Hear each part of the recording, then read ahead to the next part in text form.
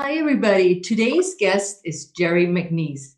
Geri helps women say goodbye to traditional exercise and hello to fun.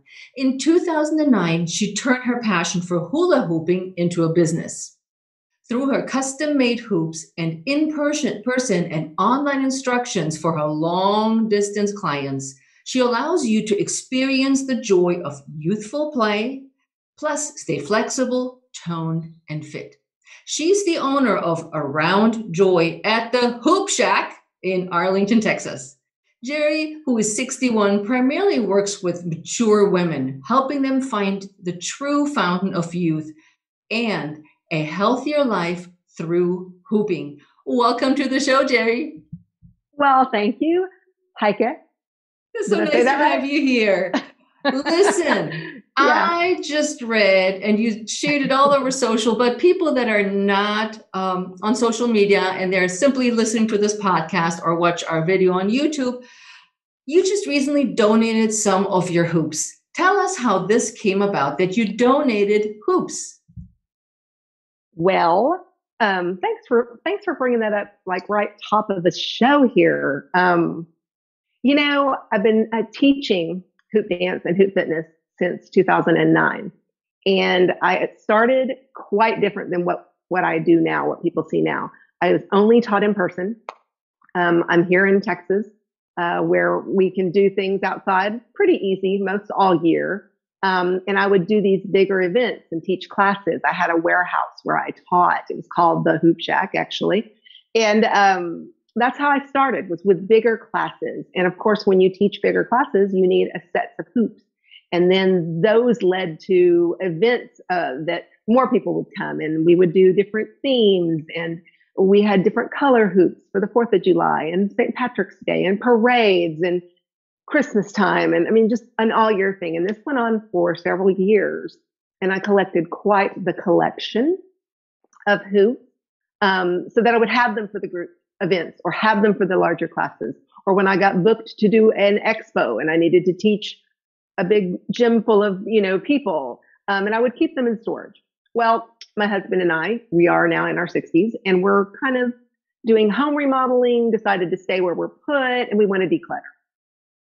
Well, the storage unit kind of is dedicated to a lot of Hoop Shack stuff because I no longer have a warehouse and I no longer uh, need those big sets of hoops because I don't really do parades anymore. And why do I? Why did I pull in? Because I'm 61. My energy level is not the same. Um, I've pivoted to the online space completely, um, except for possibly you know the private session where they come to my home, work with me one on one. I can do that by request. I have a beginner class. I have lessons online for local people but it's not necessary because I have the course now that comes with the hoops. So in my infinite wisdom, I was like, gee, I, I, I need to get rid of these. I'm going to minimalize my life a little bit because we really don't need them. And they are so powerful at helping women and especially young women. And I had this in my mind that over the years, I've donated hoops uh, for different charity causes, one or two, you know, into silent auctions, um, sometimes a group of hoops I believe me, I have tons. So I even made a big donation when we closed the Hoop Shack uh, to like a you know Salvation Army. I do believe that was the one that I did make uh, years ago. But yeah, I just thought I'm going to do that again, and I told my husband I do not want to just make phone calls and find somebody. I, I'm hoping that someone will see the need. I need to do it. I, I said to myself, I need to do a video and tell people, nominate some agencies. I thought of that probably two, three months ago. Well, I said to him about two, two, three weeks ago, I said, you know, I need to start getting on this hoop donation thing. And would you believe it? Like the next week, I got an email from some a nonprofit in California whose girls were in need of hoops. They are in a residential program for um, foster girls 12 to 18 years old. And I read this beautiful email on a Facebook Live and I said I couldn't believe it. Here's a group of hoops already. I had them somewhat ready because I have a stash in my hoop workroom here. And I started with those because they looked the best and they were most of them twisted down. And that, that email came. That was like a just uh, God just dropping that in my lap. So that's how that came to be. If you saw the video on the Instagram where I was putting them in the box. I'm sorry, I have a little bit of a cough drop. Um, you know, that it truly is from the video, other people joined in. There's an actual hoop instructor in California who lives very close to that actual agency. And there you go. She's going to donate some. She's going to actually physically get to work with them. But my hope is that I sent 12 hoops. Um, another lovely uh, organization donated money to cover the shipment that I first made. I'm going to take my own money and do another shipment with some bigger hoops. And uh, if I ever go out there to California, my son lives in Northern California. We're going to actually, my husband said we should take some with us on a trip. Maybe if we do it later in the year. And then I'll get to meet the agency. I won't get to meet the girls, but I'll get to meet the people that I'm donating to. They're called Casa de Amparo, and they're in um, California. And I can't remember the name of it, but in, in near San Diego. What are they called? Casa de Amparo. Okay. Um, and they are, I want to say, I can't remember, but they're right outside, like Carlsbad, maybe, or but near San Diego, enough to Southern California. And we are very, very uh, knowledgeable in that area. My son lived there for many years, and we used to travel there at least once every couple of years. So um, he lives in northern now, so it's very possible we're going to do like a road trip, and we can put the hoops in the car and take about you know maybe ten more, and then I'll get to meet them. So I'm excited. I think isn't that a lovely story? It, and it's the it is. I wanted everything they said in the email is what I envisioned. Like you couldn't have written that better. It, it's amazing. So yeah, when I heard about that, I thought that would be a great opening for our listeners to get a feel for who Geri is and how generous she is, and oh, thank hooping, you. Hooping means to her, Yes, and it, it is. It is important. It does mean that much. I couldn't just donate them to the Goodwill store. You know what I mean? Yeah, or something. Not that I don't do that, but you know what I mean. It's it's too important to that love to get out there in the world to where it's needed, and the powerful changes and transformations and therapeutic benefits that those girls need. They asked for hooping. Their counselors saw that as a great request. They the girls thought of it though. So that's what's neat. Let's talk about Geri before hooping. So, what was your life like about uh, before you started hooping, and what did you do for a living, or um, and what well, was life like back then before hooping? Well, um, believe it or not, I was a mom, you know, normal mom for many years because I have two sons. They are now 30, see, 35, 36, going to be 36 and 33 this in a few months, right? Um, and they were challenging boys to raise. Um, the oldest has ADHD, uh, completely owns it now, and completely owned it then. But um, he was just a handful, and I was a new mom with a boy, and you know, huh. and then I decided to have another one. Why I don't know. I was working in banking, at the time, and we wanted one more son to complete our family, or boy, or girl. And it just so happened we had another boy, and that was it. I knew I wouldn't have any more because that was two boys would be great, you know, enough.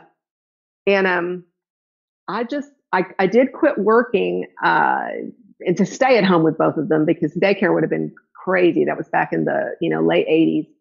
And I felt like I could do pretty good because I, I wanted to see if I could calm this older one down and nurture the new one and be the mom. And it was almost like playing a role, you know, trying, and I'm an actress by nature because I did that in, uh, all throughout my life, really dance and stage and all that. Um, and so I just, I don't know, for years, I kind I don't say I faked it, but I learned how to be a different kind of person because I really had always been a performer. Um, studied that, like I said, in college, but knew I didn't want to make that a career. So when I came back into uh, the the world as a you know 20 something year old and met a husband i didn't do the performance part so i was the mom for many years right and at that mom of two kids with uh, learning disorders we found out after kevin was diagnosed that kyle my younger one was autistic so we had to you know just baptism by fire. We had a, a three year old and a six year old basically. And one of them was in school and it was just learning all the things how to deal with teachers how to deal with therapy how to deal do we do medication do we not do medication and all the things that go with that. Plus not a lot was known about either one of those disorders you know that was it was they were they were pretty much they weren't new but they had been called different things and um, minimal brain dysfunction was adhd which that sounds really bad doesn't it so when we first got him diagnosed, that was what they called it was minimal brain dysfunction slash ADHD. And we were like, what? And then autism was just Rain Man, you know, the movie. That's really all we knew. Mm-hmm. And I remember they told us our son, the, the, younger one, you know, there there are institutions as he gets older. That was what we were told. We were like, okay. And then I was just dealing with Kevin, trying to put him on some Dexedrine or methamphetamine pills, which was scary. Um, he did great, by the way. We did put him on medication, and you know that's doing the things that we did. All came from our gut, all came from our heart. But as you can tell, just by me telling you that little bit, it was all consuming. So I didn't do anything for me. Like this girl you see here now today, it was totally different. So um, when you were in your 20s, Geri, so you mm-hmm. were an actress or you pursued an acting mm-hmm. career. What else did you do? So in my 20s, pretty much that because I went to um, I'm a product of parochial high, you know, 12 years of Catholic school and went off to college, which was the big world with real people, not just Catholic school, right? Um, mm-hmm. but I did pursue a musical theater degree. Um, didn't quite make it. Like I was three years in school. When my dad passed away, um, I kind of lost myself. Um, you know, I didn't want to stay here because my mother was left alone, and and I found my dad when he passed the day he passed away. I was having to be home that day, so that was a real um, gift. I look back on it as a gift, and I write, I tell the whole story on my blog. So anybody cares to read that, um, losing both my parents before I was 25, basically. Um, my, my mother did not last after daddy died, and I just couldn't see her. It was sad to me and I had two older sisters. So I did the I did the thing that the actress Geri wanted to do. I moved to New York, but I only stayed there six months. I mean, it, I missed home too much. When you live in Texas all your life and you move to the big city, as much as I love New York City, I love New York. Let me just say that. I just not meant to live there. I don't think I could. And, and maybe now I could that I'm more, more grown up.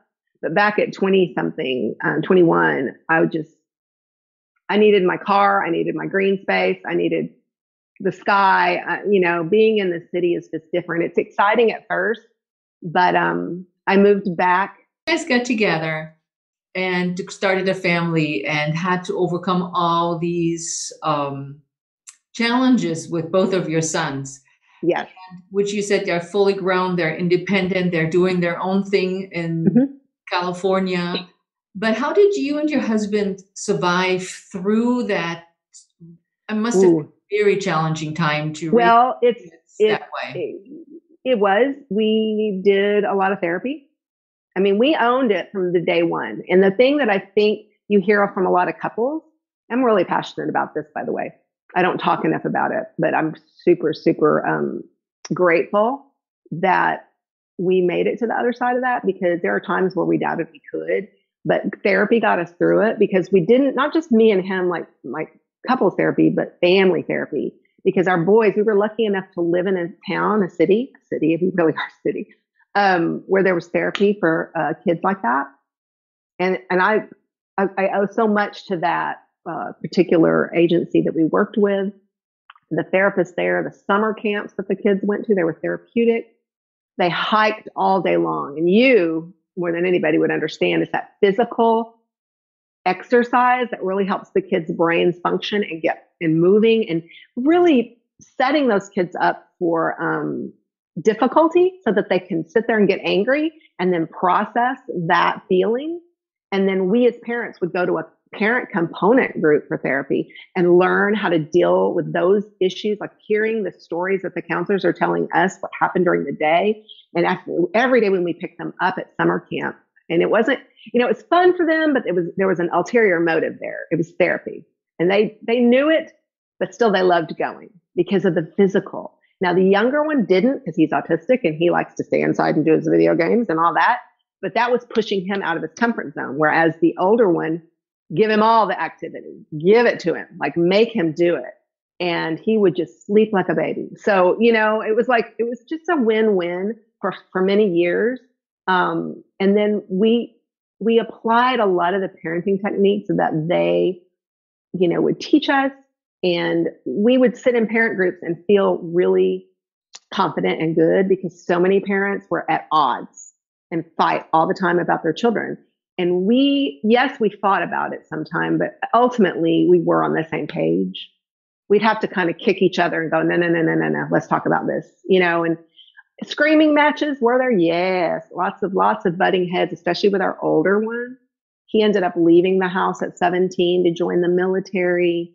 That was a travesty. He almost went AWOL. He hated having a drill instructor. We knew he would, but he wanted to go and he was no, not on medication. He just wanted to do his own thing. And the 17 year was 16, 17 was really hard, really hard. And I actually quit working out of in banking because I, I kept that career going. Remember, I started as a teller and I kept my, my banking career going. But then I started staying home when Kevin, um, oh, I, well, I stayed home until elementary school because one of us was always home. That's the other thing. My husband had back surgeries and um, he had to change careers. Let's just say, if we'll put it like that. He had some really severe back problems. And because he went to college for about three years and he did really, really well and got a change careers, got a really good job, we were both like flipping. Like I stayed home for a while. Then when he had his surgery, he started going to college. I went back into the workforce part time doing just banking because that's all I knew. And then he was home with the boys. And then once, see, that's, that was another key thing is we kind of just dual parented really well. Um, and then once the teenage years hit, I said, I can't work anymore. I, I love the money we have. We can take these great vacations, but that don't mean a hill of beans if, you know, they're running, especially the older one was kind of running around on the side you know, when mom and dad are too busy, guess what happens, right? They get into the wrong crowd and all that. So we, we, I stayed home then and he kept, you know, his career going. And that's, you know, it, it took a, it took a lot of sacrifice, a lot of money. We went into debt with a lot of therapy. Um, but it, we did what we had to do. I, I don't know how to else put it, you know, and it wasn't easy, lots of fighting, yeah. but we always knew we had each other and you know what? You did a very um, smart thing that when I got divorced, we basically co parented as well. That mm-hmm. when we went to school and the counselors would, you know, wanted to do this, the divorce counseling and all that, we would go in and they're like, well, we don't really know what to counsel them on. They seem so happy. And we're like, yeah, because we're really making sure that it's not like a separate household. We're doing everything together. We're just taking turns. Yep. What we're doing. And we're on the same page.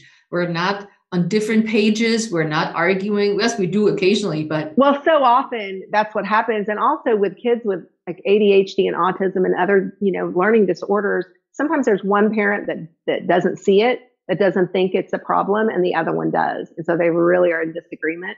And we were never that way. In fact, I really feel like we were the only, the only set of parents in the group sometime. Everybody else, the husband or the wife, you know, there was a little dissension between them on, I don't see there was a problem. You know, she makes a big deal about it. Or, but no, Robert and I were always on the same page about that. Like we could see, yeah, oh yeah, our kids have some issues. I mean, we were both in agreement. So so let's pivot into, or let's transition into hooping. Now, I was blown away that you make your own hoops, but let's start from the get go.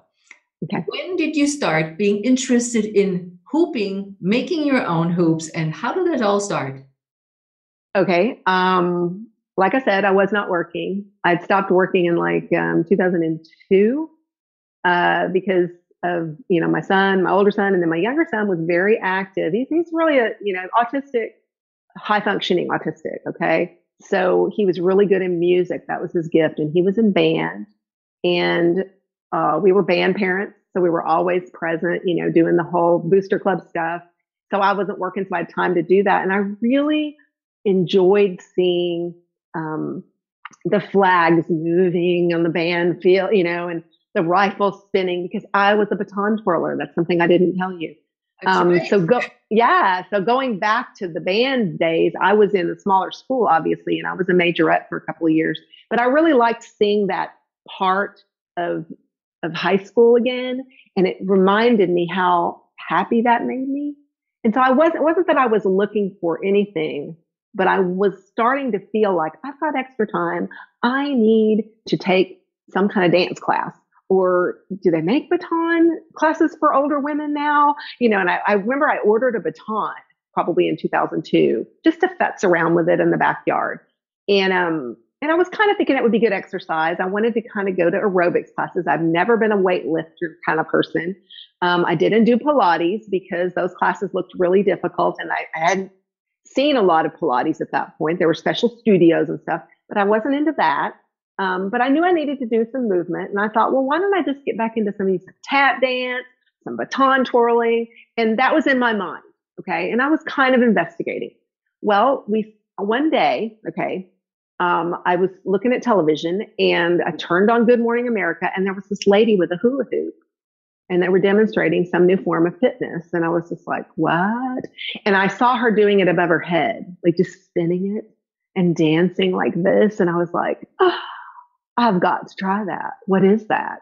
And this was back in 2007. And we didn't have like, you know, recording, TiVo, whatever that, we didn't have that. It was just like, if you, it's gone, you miss it. And so I was just like, what did I just see? Good Morning America. And at that point, we did have computer and websites. And I went to the Good Morning America website. And I, I ultimately, the page loaded to where, you know, there was a story about it. Because all I saw was that it was coming up this, this hoop thing. And I was just like, okay, well, where's the story? And it, you know, finally, a couple hours later, it was loaded because there was no Facebook that I could go check or whatever. So um, I saw that this place existed um, where you could go take a lesson or you could order a hoop online from this company. And I was like, okay, well, I'm going to do that. I went to their website and I ordered the hoop. I was just like, I'm going to order it because it was that I didn't even think twice. Heike, I just was like, that is me. It, it spins and isn't it? And she had a rocking body. I was just like, okay, this got to be good for the body. Her arms looked long and she looked like a dancer. And I was like, okay, I ordered this hoop. And then I realized we had a trip planned. And back then it wasn't none of this Amazon Prime stuff, or you didn't know when things were coming. Sometimes it took a week or two weeks or whatever. And I didn't know how long it would take. So I thought, well, I got to find their phone number. We have a trip and we're going to California. And I don't know if my neighbor could get the box. Was hoop going to come this big? Like, what is it going to be?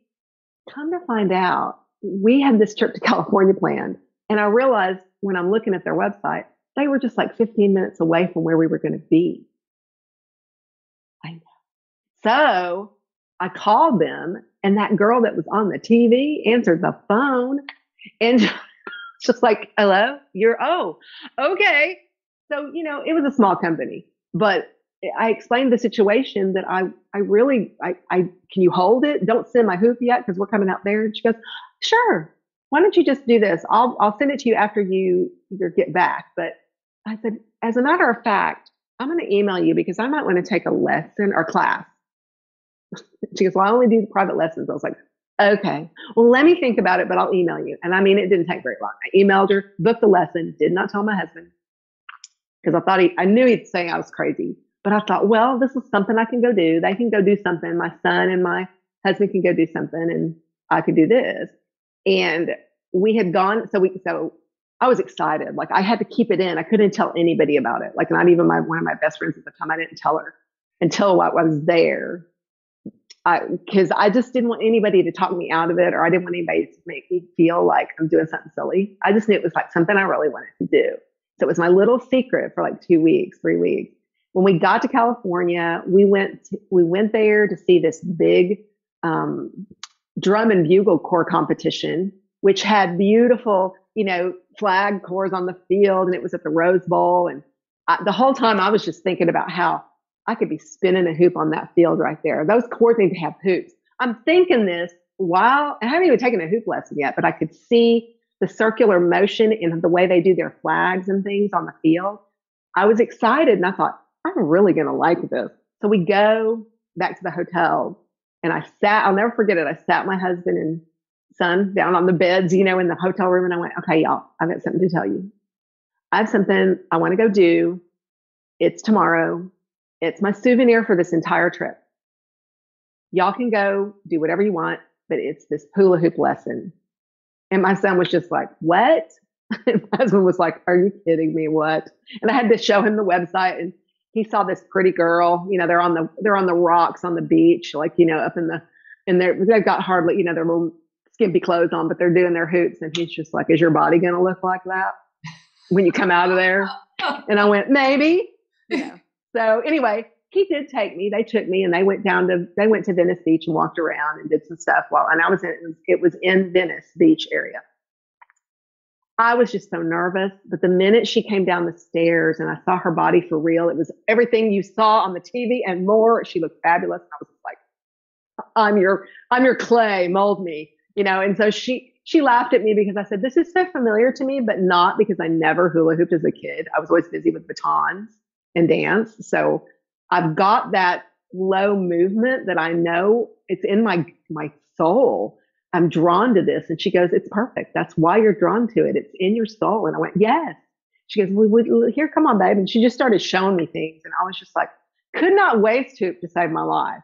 That like what you did, what I've seen you do with your new hoop, I couldn't do that. Like I was just a failure. But she gave me the off body stuff and I was just like loving it. And she goes, all you need to do is go home and practice your on body moves and enjoy what you can do. And she got right up to me and she put her finger on my head and she said, this is going to be your biggest enemy that says I can't do it. Okay. I told my girlfriend about it and she thought it was nuts. And I said, you need to do this with me because you feel lonely. You want somebody to do it with. And I had to use a little reverse psychology on her and she wanted to lose weight and we did walk together, but I told her, let's walk at six in the morning. I knew she would hate it and she did. And I said, you know what? I could come to your house with a hoop and we could practice this and we wouldn't have to get up at six in the morning. It's a lot of exercise, girl. You'd like it. She goes, I used to do it as a kid, but there ain't no way you can get me doing it. And I went, try me. Let's see because I feel confident that you could get this because I eventually got it. It's just a series of, of practicing and not setting yourself up like saying you can't do it. And I taught her. I could actually teach her how to do it with the, and, and it with a hoop that's even smaller than some of the ones I make now. And she's not a small girl. So I knew she had it in her and she, and she did do it as a young child. So it kind of came back to her. But yeah, that's how I did it is I, I just went with my gut that I wanted to do that. As scary as it was, but you I did it. Your hoop. Mm-hmm. You got your hoop mm-hmm. and you started hooping and you didn't know anything about what you when I if the listeners don't know that I purchased a hoop from Geri and she asked me all these questions when I bought the hoop because it's my 60th birthday in a few weeks almost. God, and I said for my 60th birthday, I want to learn how to hula hoop. Right. And I said, I've never done it before, but I have to correct myself because my mom saw my video. I took a little video because I wanted to show off oh, no.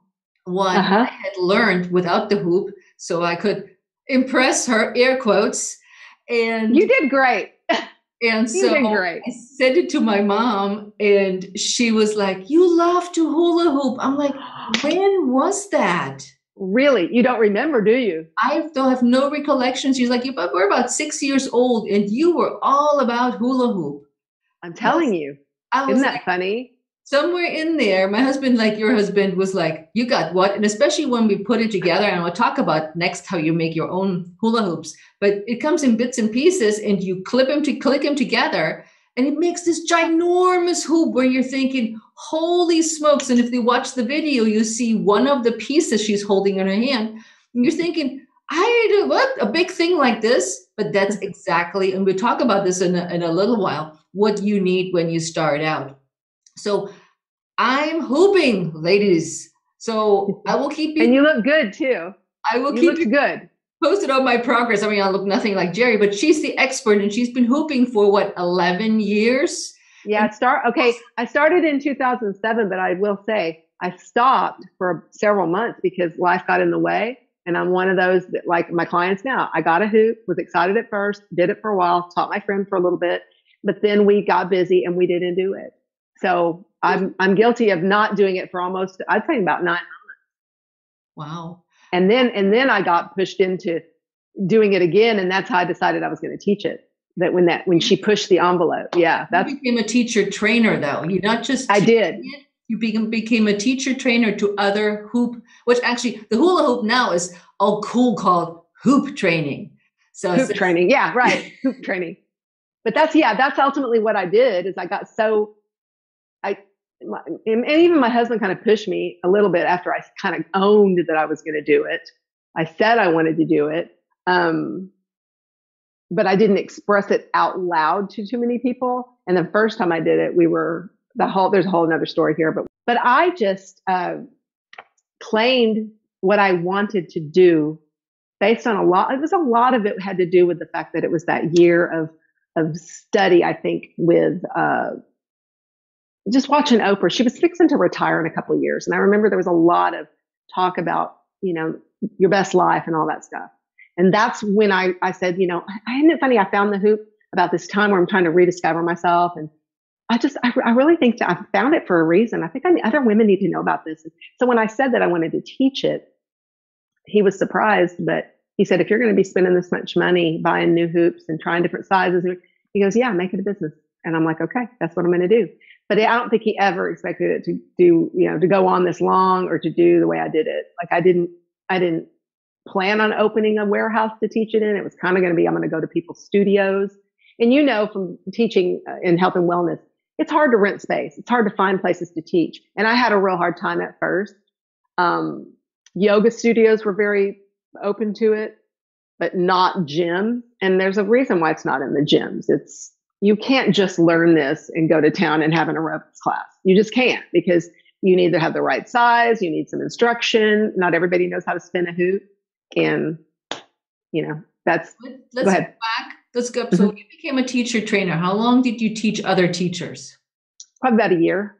Um, because I, once I got certified from this company, then they they I, they did so they really loved it the way I taught and uh, we had to submit I did distance training I did not go to any particular place to get certified because she came to Texas wanting me to, the lady that I had taken the my men, my, my original mentor. Mm-hmm. But I wasn't ready at that point. That was about a year after I took my lesson.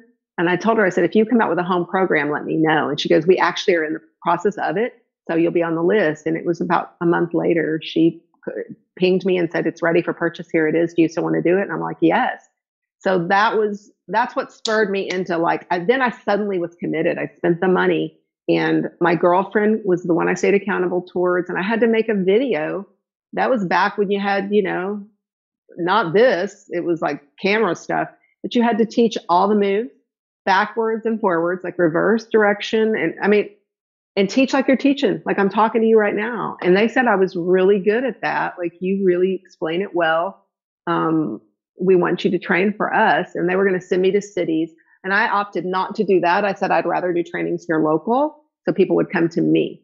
Um, and so I taught several, several training classes, like for, and, and I met women that went on to get certified and teach, you know, they were, some of them were local, some of them had to drive, you know, 500 miles or whatever, but we kind of did them at my warehouse because I was already open at that point, um, with that hoop shack. So on my weekdays I was teaching class and the weekends I would be doing a training thing where we would do a two day training inside the warehouse. Yeah, that's how I did it. So you design your own hoops, which I find super fascinating. So tell us about the process, how you came up to actually take a big hoop, because ladies yeah. are huge, to break it down into pieces, that idea, and that they lock really well together. At first, yeah. numbered. So for anybody who's backwards like I am, yeah. got little numbers on the inside. Yeah. It's made by hand, obviously. Um, you're going to see that there are segmented hoops out there that you can buy on the internet in different, you know, form stores on, you know, whatever shopping mode you want to get. You can find a quote fitness weighted hoop and they will break down because that's how they send them to you. The, the thing about that particular hoop is that it's too heavy. Okay. Weighted hoops have a reason. There's a great blog post on my website um, where I weigh in on weighted hoops. And um, it's meant for one thing it's meant for putting it on your waist and standing there and hooping, like just doing one motion, constant. And it's weighted. Okay. So it could be three pounds, four pounds, five pounds. Sometimes I've seen even eight pounds. That's very damaging to your insides, number one. But number two, it can only be done for a certain amount of time because it they do they have a disclaimer on it. I wanted my hoop to be able to be gentle on the body and big enough for success without being too heavy. Now, what do you mean by that? Well, it's simple physics, okay, that something in motion will stay in motion, especially if it's um, you give them the momentum. If it's heavier, there's more to go around, and it's going to hold that that motion. Okay, it will. That's what the weight does on a hoop. It's similar to where I don't know if you've ever seen they put water inside little toy hoops for that very reason. It's kind of displaces, it adds some weight, and little kids can get it sometimes easier. That's why there's water in those hoops at the Walmart or whatever. So if you took the water out and that hoop was really tiny, which a lot of times you might pick one up and there's nothing in it, it's very light. It's like a little toy with nothing in it. Too small, maybe 24, 36, 30 inches, whatever you can't do that as a grown adult. It's too little. It'll spin too fast. It'll, there's no weight to it at all. You can't even, if you touch it, it's going to fly away. There's nothing to push against. It drops to the floor, right? You try over and over. You're defeated. You don't know what the problem is. That's too small and light. Okay. Then you've got the opposite end where it's way too heavy. It's a little bigger, but not big enough. Now take the, take weight away, but make the hoop itself larger, the actual space larger Okay. Then you'll have room to get that important motion in that keeps the hoop going, which is the backward and forward or the side to side, right? That I teach in my waist hooping section of the course, right? So you're, there's a method to that that you have to get into your body. And that particular hoop that I make serves that purpose. Okay. So that you're allowed to do that. Now, why, why did I start making the segmented hoop? Okay. So I started originally selling one that was made who knows where, not in America, and not made with well good plastic. And it was bigger, not big as what I make, and it clicked apart. But the connections were not that great. They were made by a machine and plastic, okay, not made like I made. They would crack, and then you would be, you couldn't repair it, and then you'd be down a segment, right? Um, you try to get replacement parts, didn't work. The hoops just, I was reselling at wholesale, you know, I'd buy them and I was getting returns. It was just no good. I was like, okay, I can't sell this hoop anymore. I'm going to start making my own. And I was really only selling local. I didn't have a website yet that sold hoops. So I made them big size, whatever I felt a, a person needed. And you know this. I ask you those questions. How old are you? How, what's your size? What kind of experience do you have? Are you sedentary? Are you very active? And all those things play into the size of the hoop but we want that hoop bigger so that we have success, right? It's always made out of the same kind of pipe, which is irrigation pipe. And I put tape on it, but I would make them two size. There was no segment, right? Which left a problem of then a woman had a big enough one so she could try and work on her waist hooping, but then she didn't have a small one to practice the all important, you know, upper body stuff with your hands and arms. Video you see Geri waving around one of the pieces around above her head. So go, you got to go watch the video, ladies. you know that motion of circling the hoop above my head. That's an important skill that you'll learn. That all beginners need to know how to pass a hoop around the body, okay, or behind their head, pass that hoop. You know that was too big to do that. So then I would sell them a second hoop, or sometimes, and I hated that because it felt like I'm just trying to get them to buy extra hoops. So something told me, you know, there is a, a, a, way to segment a hoop. I just need to investigate what are the right tools that I need to buy? What are the neat components that I need to look at? And I looked online and it's like anything else, Heike. You just, you just get scrappy and you watch everything you can on the internet, you know, and you, you order a couple of hoops from different hoop crafters because it's like anything else. Uh, there's, I'm not the only one doing this, right? So I'm looking at different components I can buy. And I have a husband who is like Tim the Toolman Taylor, like Mr. Fix It. And he's got all the tools in the world and he can show me how to use them. So he bought me a, a new drill press so that I could drill, you know, the holes correctly, have a vise. I mean, you know, I don't just sit there and do everything by hand. I have like I have a workshop bench, kind of like where I construct this stuff. And I had to research where to buy the least expensive components and all that stuff. But I prototyped several and I have different, you can see these are these are all just prototypes of different sizes and you know, did I want this clip to go here? It was about, you know, a six month process. And then I just started making them and realized because of 9 11 and the way that we can't travel with hoops that easy anymore on a plane, something like this, you know, affordably could be, you know, into our bag easier. So for the for the listeners, this means it's about how how long is one piece, Geri? Um, they vary, but a segment on your hoop, okay, could be anywhere from like 16, and I'm saying with include this about 18 to 19 inches. So for the and, listeners who don't see the video you know about how long it is. I would say like the the the length of my forearm and my hand is about the way yeah see how it's right. And you got a set of nine of these and you don't have to take all nine with you when you travel. You can go down two of them can come out so you have seven segments for the full size for the smallest. But i'd say eight eight segments is what you typically would use because that's an average size hoop the bigger nine segment's going to give you a really big hoop that anybody could really use. So if you were going on a trip where, let's say, like I've done a cruise and you wanted to be like the girl that lets other people try your hoop, you need to have all nine segments. You know what I mean? So it travels easier. Not only that, but it mails a lot easier. You may have seen the video where I twist down the hoops and put them in the box for the girls. We talked about that earlier. I used to sell that kind only.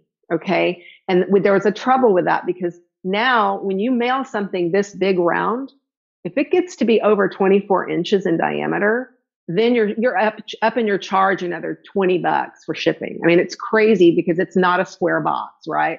And even if you do a square box, 24, 25, that gets more costly than what it costs to send something like this in a little you saw your package it's really slimline. For the people that don't see the video, so we have these bits and pieces of like an arm length with a hand length bits that all click together and it's very mm-hmm. solid. At first I was uh, wondering how solid they are because you start twirling them around your your waist like like Geri calls waist hooping uh, but they're very solid and you can pick your own colors to get it decorated but that's a different right. story but one thing i really was impressed by the craftsmanship how solid they were Thank you. And uh, how well they clicked together and how light they were. Like you said, for mm-hmm. traveling, it was perfect because I live here in Maryland and Geri sent me the hoops from Texas. And the little package arrived, a little envelope almost. I was like, this is my hoop. And then it's crazy. I was like, yeah, this is my hoop. And it turned out to be a huge hoop. So let's get into you're making your own hoops we're talking to women over 50. Is it safe for women over 50 mm-hmm. to start hooping? What are the benefits and how can they start doing okay. safely? Yeah, this is why I do what I do. This is you're getting into the passionate part for me. Um, it is it is like golf, okay, for how men can do it till their 80s, whatever. That is exactly what hooping is. And you would never know it because you see so much the wrong information um, when we see like hoop videos and they younger girls than us are spinning hoops that are probably smaller little colorful tubes and they're bending over with their leg in the air and it's spinning on their foot and they're putting it putting it on their bun on their head and they're putting it on their neck and all this. And that's what a lot of times and crazy tricks you know they're on the elbows and they're doing all the things and that's fun to look at but if you, as a 50 something year old woman who's got some arthritis pain, you see that, you're like, that ain't for me. And that is why I do what I do because I'm like, yes, it is. That's not the style we do. You don't start doing stuff like that. I could do a little of that because I started hooping so long ago. I moved, I learned a lot of tricks. Tricks are fun. But now at 61, I just like moving gently with my hoop. And so that's why I teach the way I do because I think more women just need to understand it's so forgiving. Um, anybody can start wherever they're at and do something. I think you might kind of get a feeling for that now that you have a hoop. You can see, oh, I can take this size, you know, like maybe take a segment out and you can just hold it and do those stretches every day, right? You're not spinning it on your waist. You're not even, you don't have to learn that if you don't want to. It's a partner, it's a tool. Now, certainly, I hope you try waist hooping and I hope you use all nine segments and give it a go. I give you the instruction how to learn that. That's your little, little bit of cardio practice for the day. Now let's talk about moving the upper body. Let's talk about opening up the, ch- the upper back and the chest. Look through the warm up and stretch. Just do that. That's your hoop practice. Hooping is very personal and it is whatever you want to do with that hoop that feels good for your body. So everybody comes at a different space to it. Some women have really bad knees and maybe they shouldn't be overdoing that waist hooping. So you know what? But you should walk, right? The doctor's telling you you need to walk more. You need to lose weight. You need to walk. Walk with your hoop in your hand and hold your hoop and do some of those movements I tell you, all the off body things, passing a hoop and walking at the same time. Don't be embarrassed. Do it in your backyard. Do it in your front yard. Go down the street with your hoop. That's, you know, it's that kind of movement. It's almost like it's functional. You know what I mean? It's functional exercise. It's not over the top. It will, it will, um, loosen up your joint. I mean, juice up your joints. Keep them, keep yourself not only flexible in the muscle, but the joints. How often are we forgetting the joints, right? This is what dynamic stretching like no other, like constant movement. You're, you hit all your body parts. And I talk about this in the course. That's what is so functionally needed for us at this age. So rather than do something that you don't like, like have to hit the gym and do all the circuits and do all the things, that's not me. I don't diss people that do that. That's just not my bag. So I found what is. It's very Pilates like, but in a whole different modality, if that makes sense. Some of the same Pilates benefits are right there with your hoop. You could take your, your segments out and make it a little bit smaller and do some of your Pilates kind of stretching kind of things, and you know exactly what I'm talking about. So you've got a hoop that breaks down into a couple of other sizes, okay, so that you can functionally use it for different things. And that's another benefit people don't know about. You feel younger, like instantly. You touch it and you're like brought back to just a kid, even if you never hooped before. It's just something to play with. It's just, you know, it's it's it's a fidget spinner, but a lot bigger. You know what I mean? It just gives you a purpose for your hands. It is something that you can go fiddle with when you're getting a, snack attack. Maybe just drink a bunch of water. You're really not hungry. You just need to, you just need to hydrate. But then you go outside and mess with it for you know two three minutes, and you're taken away and that and that turns into five or ten and if you do that five or ten times a day or two two three times that adds up to 30 minutes of movement that you may not have gotten so it's a, it's it's like a little pastime hobby that has the perk of being physical exercise you know what i mean um, and when you do it this is the other thing you build your confidence and that confidence transfers into other areas of your life people don't realize that it will but it does. I've seen it time and time again. I see women that are shy. There's a social aspect to it. Even though we don't have big communities doing it anymore because of, you know, I've pivoted we're online, COVID, whatever. Um, I see women start this that are typically shy, but they're doing it by themselves at home. And then pretty, pretty soon they're like, y'all, look what I'm doing. And then they might like show a little video or they'll show their, their friend in person. And then it's like, then they start, oh, people like it. Oh, well, let me do a little bit more. And then they suddenly have self confidence and they're not as shy anymore. They start wearing colorful clothes. They didn't wear color before, but now they're, they like their colorful hoop. And, you know, that doesn't happen always because certainly if you're not a colorful person, but you want a hoop, you get a hoop that's not so colorful. You know, you can get different kinds of color of tape on it and you can be very subdued with your hooping. But I have seen it make women come out of their shell, so to speak. I mean, for many, many times. That's a that is a beautiful metamorphosis right there. And and really just the the mental benefits at this age in our life where we've lost, we feel like we've lost so much, you know, be it physically estrogen, be it children have gone to college, be it, you know, careers. Um, it's like, what, how do I rediscover who I really am? That's exactly what happened to me. I just really wanted to find myself again. And that's what happens is is that feeling, the mental drain that we have at this age.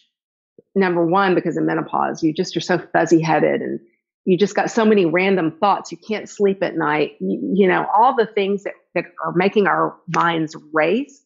Hooping allows you to slow down and listen to your brain is telling your hand to do this while thinking of this path. And, you know, it's just all putting all that together is like a crossword puzzle with movement. And it's so good for our brains at this age. We need to keep learning and really using the brain. And people don't realize how much hooping does that until they start and realize I have got, it's like chewing gum, patting your stomach and doing all this. You know what I mean? And it, and a lot of people feel frustrated because they don't get it like that. Like they see me doing something and then they go outside and they're like, I just can't get it. Well, I never like that word. I never, don't ever say can't. I'm working on it. That's how you say I'm working on it. But when you try and try and try, little things happen. It has to cook. And that is so good for our brains at this age. You know what I'm talking about. So that's the, that's one of the biggest reasons I'm going to keep doing it. Even though I'm not learning a lot of new, I think to run my business, I have to learn a lot of new constantly. And I have to learn how to, you know, speak to different women all the time and have to do this Zoom and how to do this, you know, uh, new clubhouse and how to do, you know, I'm always in the process of learning anyway. So I know that's what's going to keep me in business. But for me to be teaching, coaching online, these women, it, it I'm doing it for our mental health uh, as much as physical. Seriously. And I think that hooping translates. I mean, I'm in the same niche. My background is different, but when I think of what I coach the women in our age group, it is not so much about hardcore things, but the mental part and the confidence and the feeling good about yourself part. Yes. And one of the things that I had thought about the hooping for a long time, I, I um, used to have a client who is younger, she's in her 40s, and she's a hooper. Mm-hmm. I was like, "What are you doing?" And she's like, "Well, I got hula hoops." I'm like, "Go, go, bring them so I can see them." And that was way, way before COVID. And so she brought her hoops, and she always looked so sexy and fluid, and had so yep. much fun. And the music was playing because I know so many women who love to dance and don't get to dance anymore. And the music is on, and when the when the hoop is there, I'm like, I got my dance partner. It is. Your hoop is, that's the thing. And I don't go into that a lot sometimes because I don't want women to think they have to be dancers to do this because they don't. Yeah. Um, you know, when you are with your hoop, that is you and your little dance partner and it's your own personal party. And that's why I don't believe in choreography. I know there are some women that hoop that like to learn that way, that like to learn a series of steps to put together. Just, and I know you're a dancer too, as far as your uh, ballroom dance, right? Uh, Argentine tango and salsa. Argentine tango mm, and salsa. You can get in your hoop and just kind of move like that, right? I don't believe in putting steps together though. I just believe in moving what feels good. And so if you learn like four or five different, you know, hoop things that you can kind of put together, which is basically what I teach those foundational things if you just follow the course, you'll be able to figure figure your own flow out. We call it flow. I don't want flow to be a set pattern. There's some people that say, we're going to put a hoop, a hoop flow together. The first move is this, the second move is this, the da da da. And that's not flow. We want to get caught in that state of flow where it just feels good and things just meld and you just keep repeating it, but it don't matter because it looks new and fresh to, and you don't even, don't do it for the observer. That's one, another thing I have trouble um, watching people constantly put videos of themselves out hooping because you're doing it for the observer and not yourself. That make sense? Too much outer approval and comparison. And then that's the thief of joy. We don't want comparison to get in here. So I try to create that community where we're just celebrating each other. We can, you know, if you post a, in my inner circle, if you post a video, I you know, love it. I hope you do. But if you don't, that's cool too. But I, it's, we're not doing it for critique. We're not doing it for anything other than I want to encourage others to do the same and move like me like with us, not like me, do it your own own way. But I, I don't like to uh, put choreography together. That's one thing I've never done, with the exception of a couple of performances that we did at basketball games years ago when I had my, you know, my hoop shack. But Flow yeah. is a big thing. I, it really sounded almost like final words of what you just said a minute ago to send women off with their hoop into happiness and joyfulness in their life. And that's exactly what that's exactly what I'm going to keep doing this for. So I can just keep throwing that that hoop out there for anyone that's looking for that kind of joy back in their life because it's it's truly what happens. You have to allow that. You can't be scared of what people will think because that will dampen your joy, you know? So, Geri, final question. Where can people reach you and connect with they, you? They can connect with me on most social media, um, just around joy, all one word, A R O U N D J O Y. I'm on Instagram. I'm on primarily Facebook. I have a nice Facebook community there. I have a um, let's see, group on Facebook, Start Hooping Over 50 with Around Joy. And that is just an informative group where I post some of my very best um, live videos. I love to do live videos. I've been doing them for about four years on Facebook now. Lots of information, free information for sure. I'm talking about all the benefits of hooping over 50. Now, um, I am, like I said, Instagram. I'm YouTube, not as active, but I do have a YouTube channel with lots of lots of cool videos from the past for sure. I need to repurpose. I have a blog on aroundjoy.com. So uh, that is my website too, aroundjoy.com. And um, just getting started on Clubhouse. I really like it. Um, it's, it, it can be a big time suck, but I'm, I'm starting to learn a lot. And so hopefully I'll be um, co-mod, co-modify, mod, nah, can I say that? Co-moderating uh, a room or two and then hopefully I'll have a club there someday, you know, where we can talk more about movement and fun, joyful movement. I think that'll be a fun club to to do. So, but around joy, it's easy to find pretty much everywhere. So, listen, guys, now you know how to find Geri and all of all the things about around joy and hoop, and find out more about what she did before and how you can potentially uh, move forward in your own hooping life. And I want to say, say, thank you to Geri for being here and sharing all that wisdom about something that I know very little about, and I just became uh, reintroduced as I found out, and uh, I know how much fun it is. And if you want to reach out to us, you have the handle for Geri, and all the links will be in the show notes, so it's easy for you to click on the link and get to either one of us. But what I'd like you to do is reach out to us on Instagram and let us know what you thought about the episode. If you want to get a hoop, if you've been hooping before. So anything or any questions you may have that we didn't answer in today's interview, and we'll get back to you, especially Geri will get back to you through the Pursue Your Spark podcast. But you can find us anywhere on social media, and you know how to find me at heikeyates.com. And with that, we are out of here. Thank you so much, Geri, for being here. Oh, thanks. It was great, Heike. I loved this. Awesome. And I'll see you guys next time on the Pursue Your Spark podcast. Ciao.